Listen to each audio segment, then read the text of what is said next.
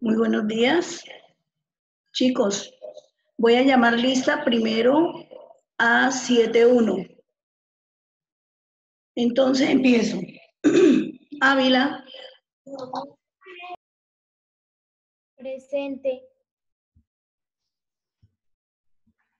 Castedo,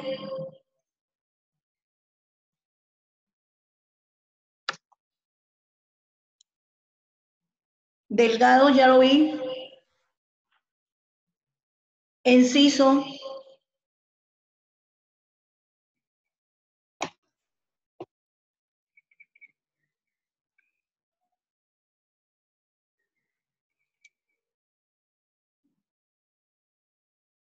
Forero, Presente.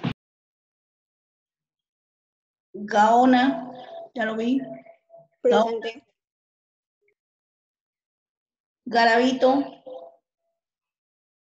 Presente. Gutiérrez, ya lo vi. Hernández también, Ladino. Ladino.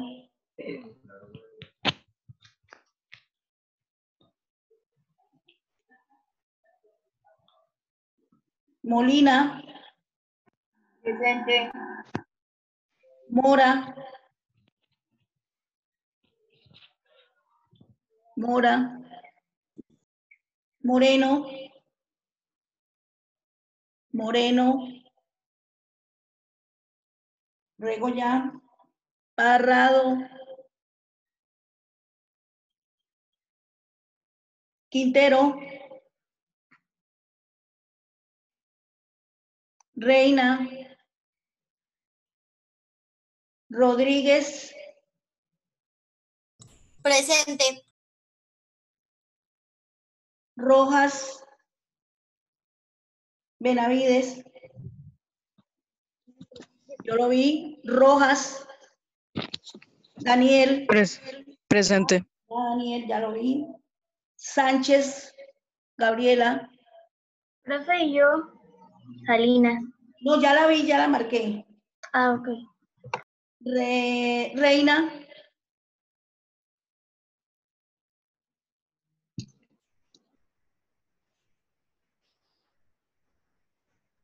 Quintero. Quintero.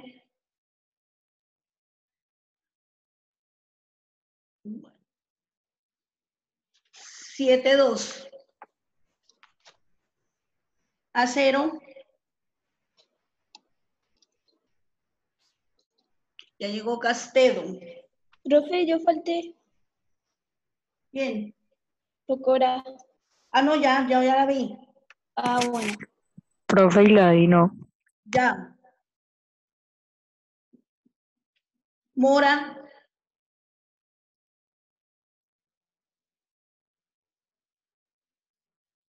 Ya llegó Reina.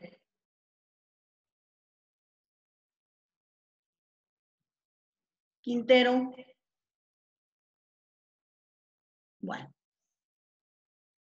Siete, dos. A cero. Adarme, ya la vi. Álvarez. Ballesteros. Varón.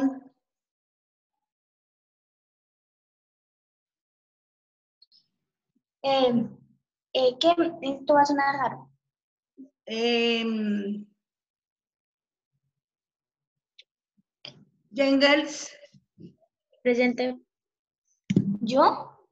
Yo no. García. Y yo, profe, Chávez. Ya, ya, ya le marqué. Cerquera.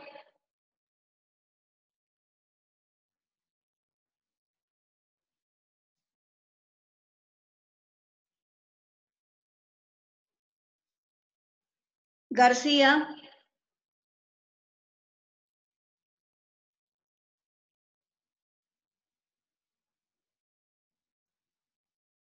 Hernández. Presente. Hoyos.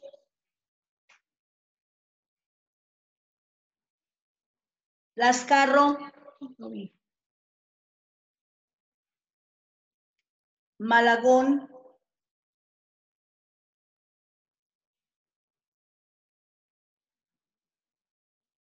Martínez. Isabela.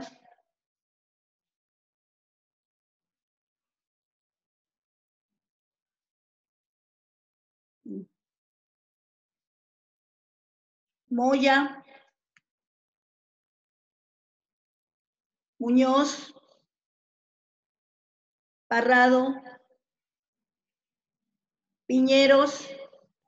Presente. Prada Felipe. Profe, no me, no me llamaste a mí. ¿A quién? Mogollón. Mogollón. No, sí, ya, ya lo está, ya está chuleado.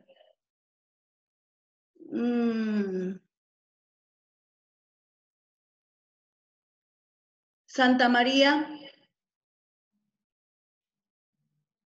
Rodríguez Diego. Presente. Rodríguez Sofía.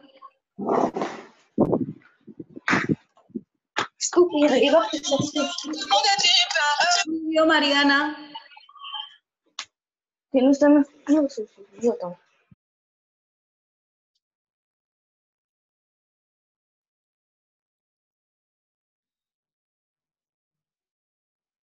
Serrano. Ya. Torres.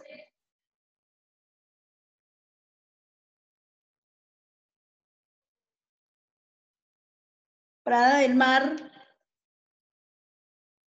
Ortiz Camilo. Bueno. ¿Me escuchan? Ay, Tatiana. ¿Me escuchan? Sí, profe. Bueno. Bueno, a ver, vamos a hacer un pequeño repaso de lo que vimos en la clase porque hoy vamos a ver las características de las regiones naturales de Colombia. Eh, yo voy a presentarles algunas diapositivas donde ustedes van anotando lo que les parece más importante.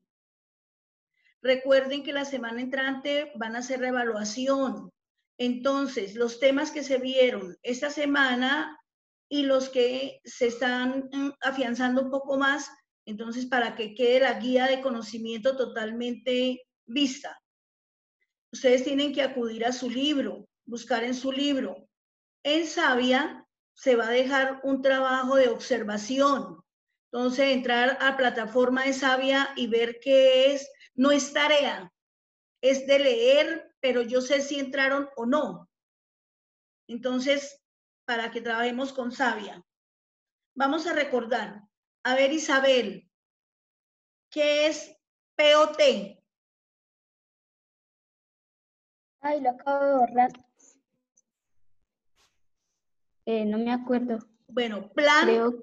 a ver, POT, Ah, plan de organización. plan de ordenamiento territorial. A ver, POT, plan de ordenamiento territorial. ¿Para qué se organizó esto? Para administrativamente buscar las infraestructuras en salud, educación, en construcción, en arquitectura.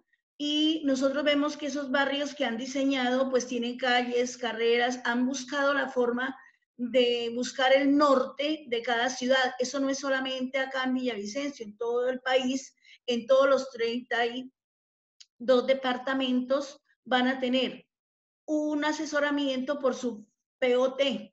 Para eso también colabora el Instituto Agustín Codasis, que es el que elabora los mapas, el que hace los planteamientos, el que mm, ve que, si realmente antes de construir algo, ellos tienen que buscar y seleccionar el terreno y de ahí que hayan dividido las regiones en espacios pues habitables.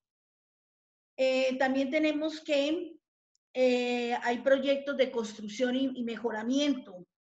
La regionalización, ya dijimos que regionalización es un espacio definido y lim- delimitado. Entonces, es un espacio donde se va, por ejemplo, nosotros tenemos aquí tercera etapa, cuarta etapa, desde la primera hasta la octava, ¿cierto?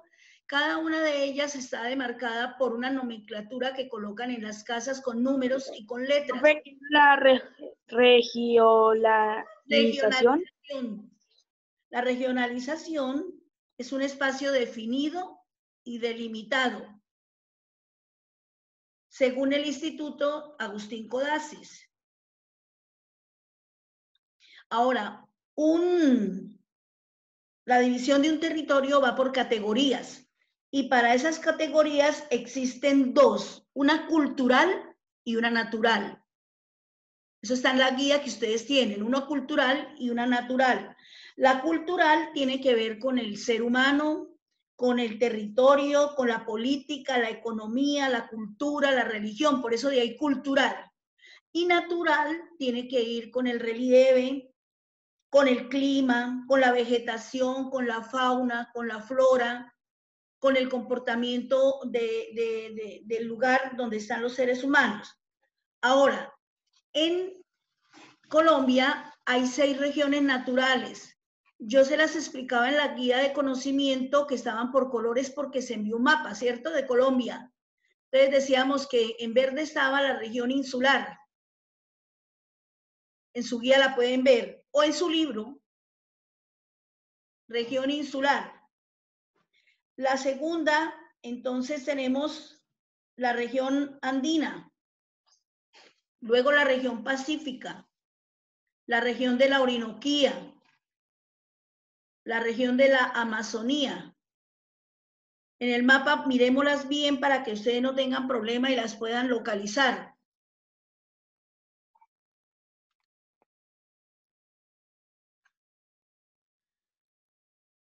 Dijimos también que el territorio colombiano tiene una extensión de 1.148.000 kilómetros, millones de kilómetros cuadrados, que está dividida en 32 departamentos y que hay las seis regiones naturales. Tatiana, voy a sacar aquí. Profe, ¿cuánto? A ver, 1.148.000, es aquí lo, aquí lo lo quiero poner acá.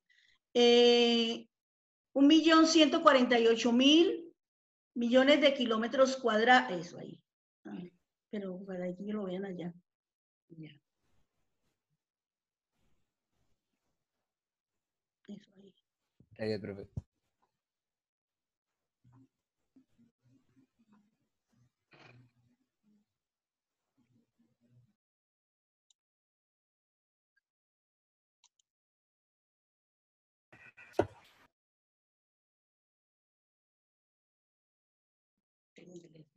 ¿Están viendo la imagen?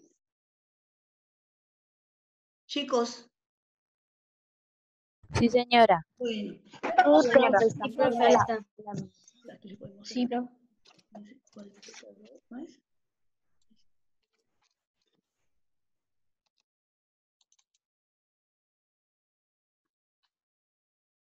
Bueno, entonces vamos a iniciar las regiones naturales de Colombia y su biodiversidad.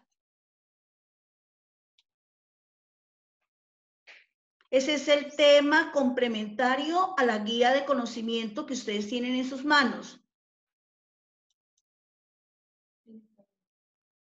Bueno, tenemos que, ¿qué es la biodiversidad? A ver, Lice Garavito. La leemos y podemos sacar un fragmento muy pequeñito, ¿qué es la biodiversidad? Son diferentes formas de vida que se manifiestan en la di- diversidad genética de poblaciones, especies, comunicaciones, ecosistemas y paisajes. Es el matrimonio o riqueza yo- de una nación y forma parte muy importante de su desarrollo, tanto en el presente como en el futuro. Ahí donde leyó especies es comunidades, ¿sí? Porque es que leyó, leyó comunicación, comunidades, o sea, población, comunidades de animales, de plantas. Por ejemplo, nosotros tenemos en las plantas unos árboles aquí, el yopo, flor amarillo, el cedro, ¿sí? Entonces, son comunidades o especies que hay, como también hay vegetales, también hay animales, por eso Profe. digo Colombia sea un país de gran biodiversidad. O sea, Profe, también se conoce como biodiversidad de fauna y flora. Eso, perfecto. Ahí la recibimos con esas dos palabras, resumimos todo. Vamos a dejarlo un momentico y luego pasamos a otra.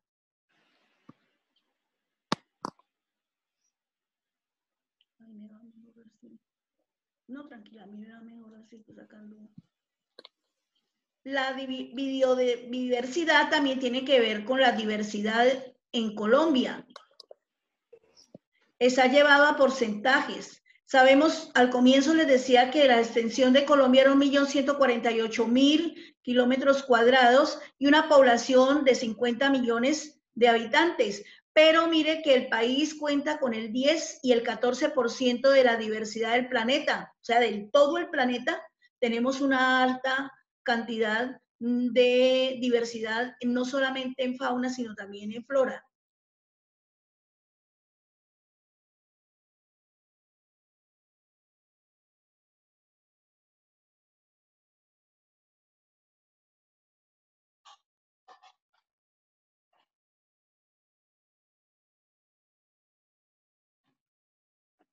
Si ustedes ven el mapa de Colombia, vemos la ranita, que es una ranita de las mortales, donde llegue a, es la pequeñita pero muy peligrosa.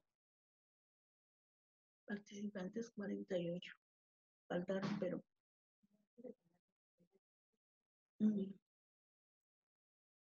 Bueno. Tipos de diversidad. Ustedes ven acá, genéticamente todos son mazorcas, maíz. Pero si ustedes ven, esos maíces están de diferentes colores. Hay blancos, hay lila, hay oscuros, hay amarillos. Eso va de acuerdo al suelo y a la región donde se produce. Entonces, esa es la diversidad genética, no solamente de un solo producto, un solo color, sino que va, y también el, el, digamos, la parte de alimentación va a ser, pues, de acuerdo al sitio donde se produzca. Va a tener más eh, cantidad de, de nutrientes. Tipos de diversidad, no solamente es uno. Diversidad en especies.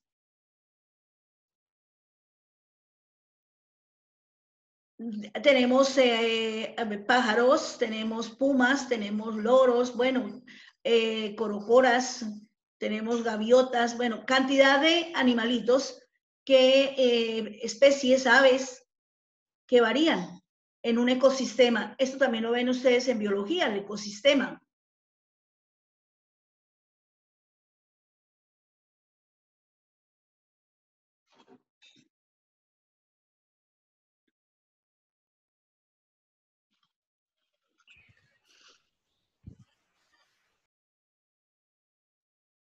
Mm.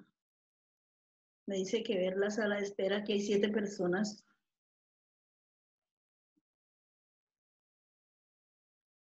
Me dice, vea la sala de espera, que hay siete personas. Y- si la pongo ahí y de pronto.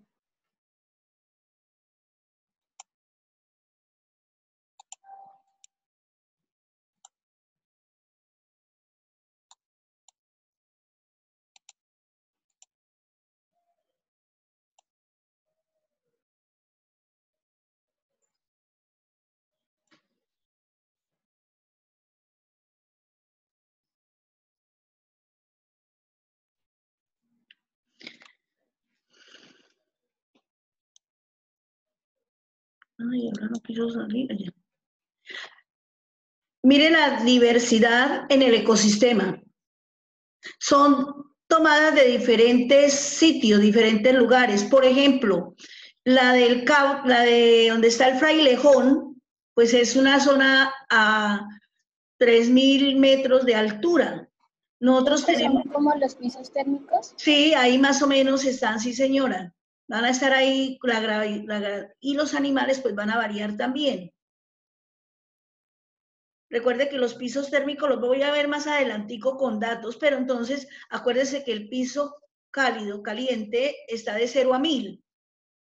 El templado de 1000 a 2000. El frío de 2000 a 3000. El páramo de 3000 a 4000 y de ahí nieves perpetuas. En Colombia no tenemos, lo máximo va a ser el Nevado del Ruiz pero entonces son los pisos térmicos muy bien y saber que está como muy pilas.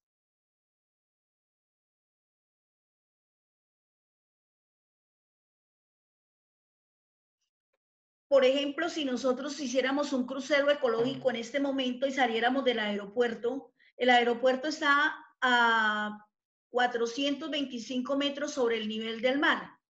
Ahí que podemos observar, observamos plantas de aguacate, eh, de, guayaba, de plátano, inclusive hasta de cacao, pero esas plantas no son lo exuberantes como debían ser.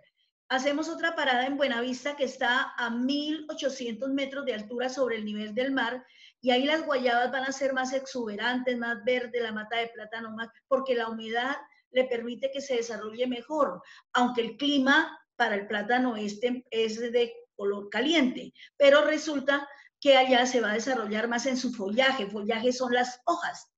Entonces, y de ahí hacemos una parada nuevamente, por ejemplo, en el páramo de Chipaque, y vamos a ver que por la carretera vieja nos vamos, vamos a ver que ya no hay vegetación, no hay cultivos ni nada, sino hay frailejón, y hay mucho aire, mucho viento, mucho frío, mucha neblina, porque estamos a otros niveles, a otras alturas. Entonces, ese es uno de los factores que nos permiten eh, trabajar en una mejor forma.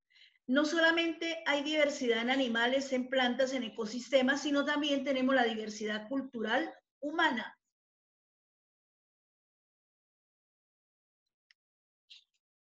Variedad de comunidades con su propia riqueza, su propia cultura, sus creencias, su forma de vestir, sus sitios turísticos, sus danzas, sus leyendas, sus mitos. Todo eso forma parte de esa diversidad cultural humana.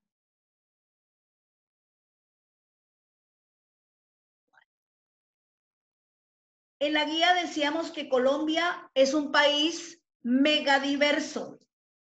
No hay necesidad de copiarlo, sino que tú lo leas para que te des cuenta que ahí estamos afianzando las anteriores dice que un gran número de especies, o sea, como que está el resumen de lo que ya hemos visto. Vamos a dar unos minuticos hablar. Leer.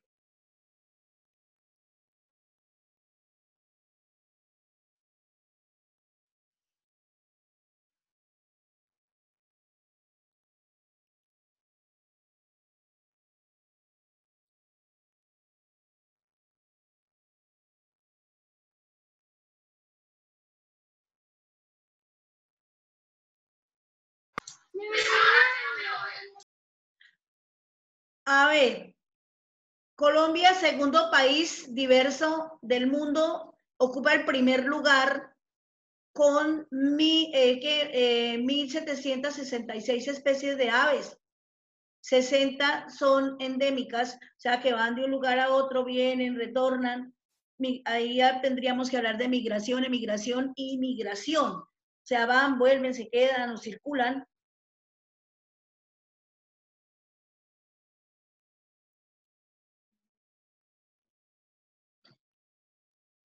Primer lugar, con anfibios, tenemos las tortuguitas. Primer lugar, con 583 especies. No hay necesidad de que anoten esas cantidades de especies porque ellas varían, nacieron, otras nacieron, pero sí que sepan que ocupa el primer lugar en anfibios.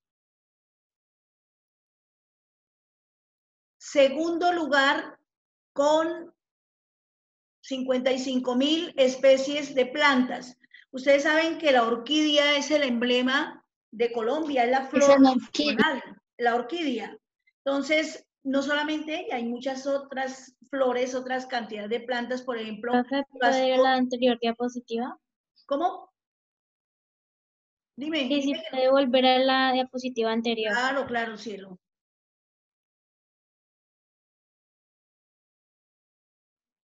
Ya, gracias. Bueno.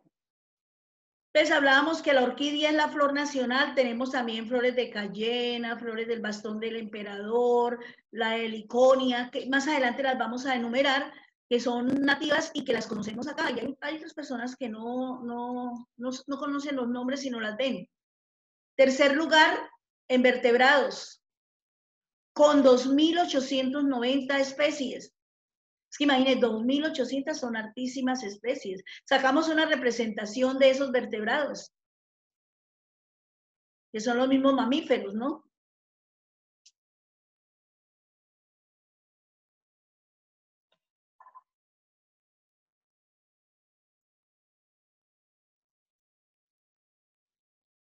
El cuarto lugar en reptiles.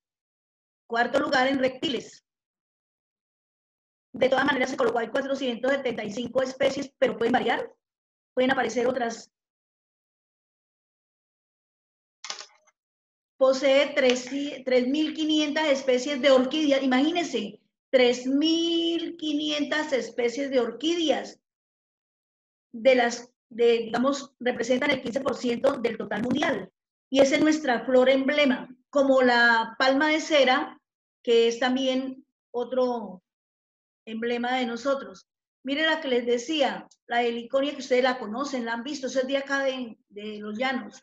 Existe donde hay humedales. La que es como roja. Pues Sí. retroceder a la, a la, a la A la de la orquídea.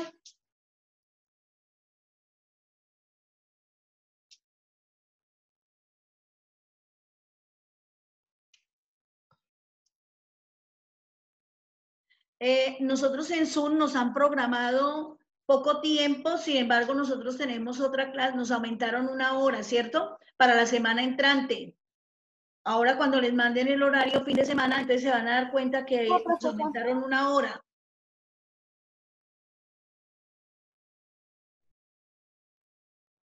La diversidad es el patrimonio de Colombia y tiene un valor estratégico para el desarrollo del país. No hay necesidad de copiar eso, sino es como cultura. Importancia de la biodiversidad. Si, si hay toda esa cantidad, para nosotros es importante porque vamos a tener una supervivencia. Entonces también dependemos de la biodiversidad, de la biodiversidad. O sea que nos ofrece múltiples servicios la biodiversidad.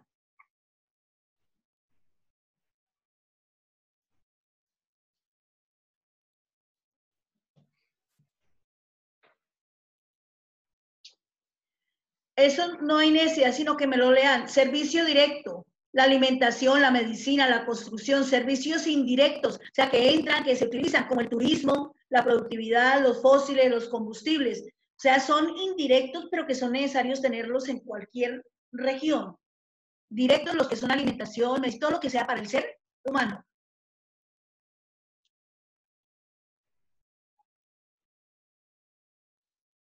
Ya esto no hay necesidad porque ustedes ya tienen la idea. Pérdida de la biodiversidad. ¿Quién acaba con la biodiver- diver- biodiversidad?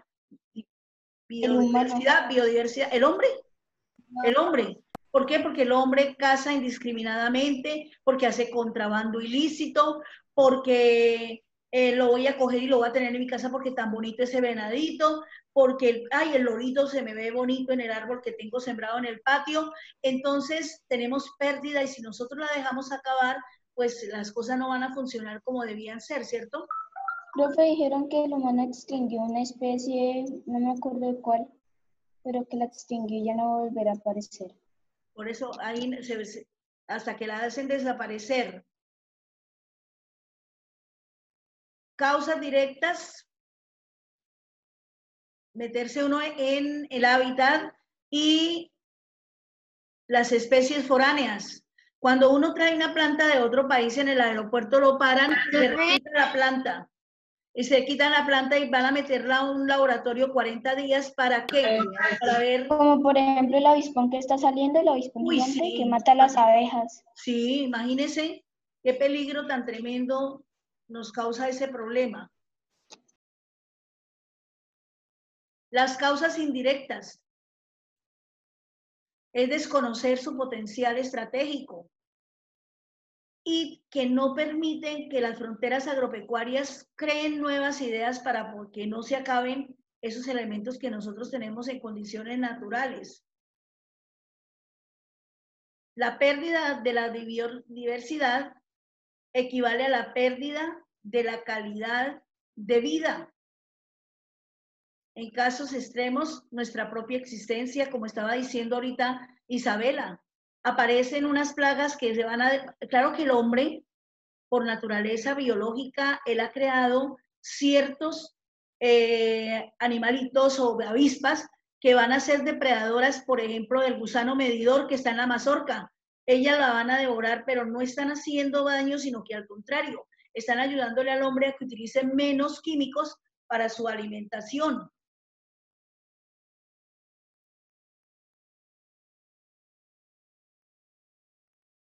Zonas biogeográficas de Colombia. No hay necesidad que anoten ahí esa parte, sino simplemente que la leamos. Son las islas y las zonas marinas.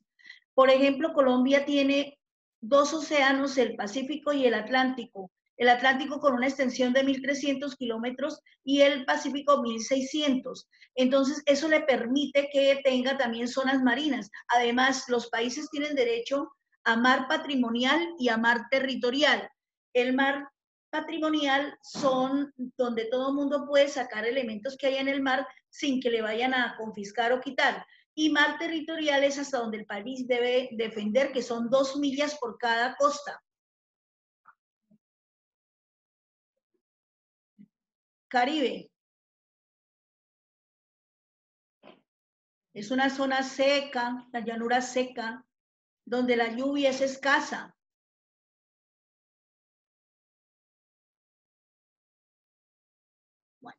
Las regiones naturales de Colombia ya las habíamos enumerado, que era la región insular, la región caribe, la región andina, la región pacífica, la región de la Orinoquía, la región de la Amazonía.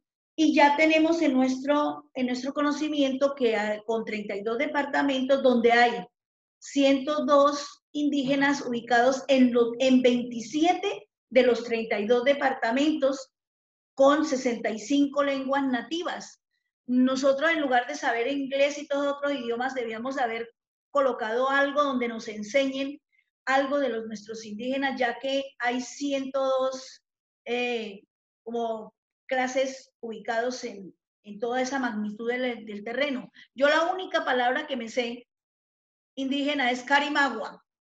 Carimagua significa eh, en medio del agua.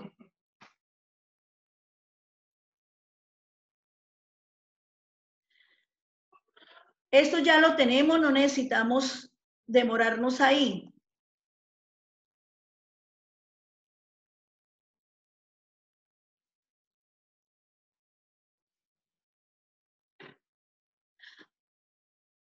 A ver, eh, Moya, Mariana, léanos lo de regiones culturales. Las regiones culturales son territorios habitados por grupos humanos que con origen común que a lo largo de la historia han creado formas de vida particulares, bienes espirituales y materiales que han dado sentido a la identidad y pertenencia. Eso no necesidad sino leerlo. A ver, Moya, Juan Sebastián, principales grupos culturales. Está haciendo, ¿no? Moya, Moyano. Mogollón.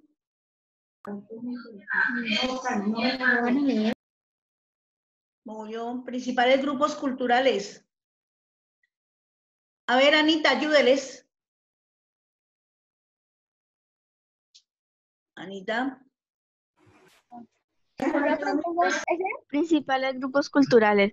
Los costeños, los insulares de San Andrés y Providencia, los guajiros de la región Caribe, los chocoanos, región pacífica, los antioqueños o paisas, los cadenses, los santanderianos, los cundiboyacenses, los bayunos, región andina, los mestizos, tunebos, achaguas, salivas, región de la Orinoquía, los ticunas y otros tucanos de la región amazónica. Entonces, mire que todavía existen y tienen sus tradiciones, ¿no? Región Caribe. Se ubica qué? A ver, Mariana.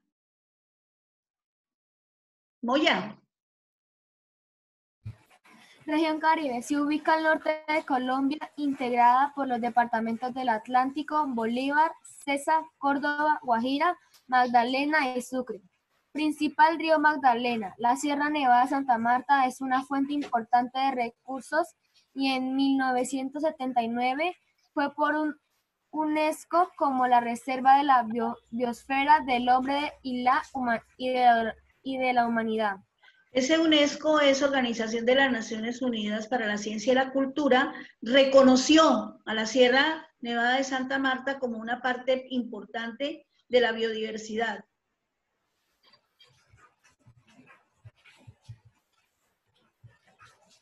Acá vemos algunas mm, danzas y ustedes las pueden identificar. A ver, Gutiérrez, ¿esta de qué zona sería? Gutiérrez. Gutiérrez. José Luis. ¿No? Del Caribe. No, esta, esta no es del Caribe. Ah, no, esa. eh, Son indígenas. ¿De qué región serían?